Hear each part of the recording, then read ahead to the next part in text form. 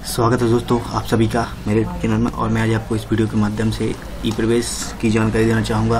हमारे मध्य प्रदेश में गवर्नमेंट कॉलेजों में, प्राइवेट कॉलेजों में जो भी एडमिशन की प्रक्रिया चल रही है, उसके दो राउंड पूरे हो चुके हैं। मतलब फ़र्स्ट काउंसलिंग और द्वितीय काउंसलिंग पूरी हो चुकी है। इसका अब एक सी राउंड या तृतीय काउंसलिंग जो है, वो शेष है। तो इसकी जानकारी मैं आपको देना चाहूँगा, क्योंकि जो हमारा रुक जाना नहीं का रिज़ल्ट आ चुका है और सप्लीमेंट्री का रिज़ल्ट भी तीस तारीख तक आ जाएगा तो इसके जो फॉर्म हैं, वो आप किस प्रकार आगे भर सकते हैं? आपको जो सीएलसी राउंड में जो फॉर्म है आप, या तृतीय राउंड में, अंतिम चरण में जो राउंड है, उसमें आप रजिस्ट्रेशन किस प्रकार कर सकते हैं? और ये भी ऑनलाइन है कि ऑफलाइन इसकी जानकारी मैं आपको देना चाहूँगा।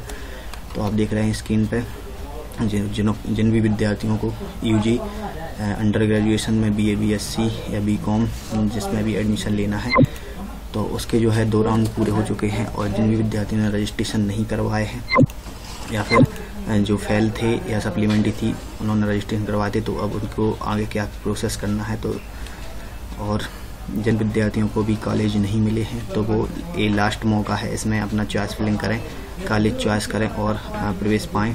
इसकी जो है पीडीएफ आपको मेरे वीडियो के डिस्क्रिप्शन में मिल जाएगी, वहाँ पे मैं आपको डेट बताना चाहूँगा। कि यहाँ पे जो थर्ड जो सीएलसी राउंड है, जो अंतिम चरण है, इसके बाद कोई प्रवेश नहीं होगा तो आप ध्यान रखें कि इस तारीख में आपको रजिस्ट्रेशन कराना है। तो इसका जो सीएलसी चरण ऑनलाइन है, वो इस बार ऑनलाइन ही होगा ऑफलाइन नहीं होना है। तो इसमें केवल पाँच अगस्त 2019 से 13 अगस्त 2019 तक रजिस्ट्रेशन होने हैं। और रजिस्ट्रेशन होने के बाद पाँच से चौदह अगस्त तक आप अपना वेरिफिकेशन करवा सकते हैं, जिन्होंने वेरिफिकेशन नहीं करवाया है। और इसके बाद आप रिचार्ज भी करवा सकते हैं। तो तेरह तारीख तक आप रजिस्ट्रेशन करवा सकते हैं रिचॉइस करवा सकते हैं। यह प्रक्रिया पाँच अगस्त 2019 से तेरह अगस्त 2019 तक स्टार्ट होगी।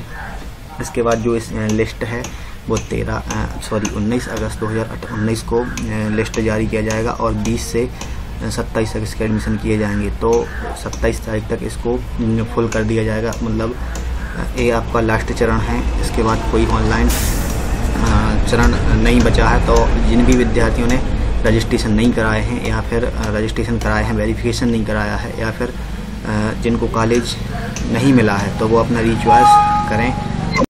तो इसमें रजिस्ट्रेशन करें रिचॉइस करें और अगर आपको इसमें कोई परेशानी या दिक्कत आती है तो आप मुझे कमेंट करें, हम आपकी हेल्प करेंगे और इसकी जानकारी बस इतनी है। धन्यवाद।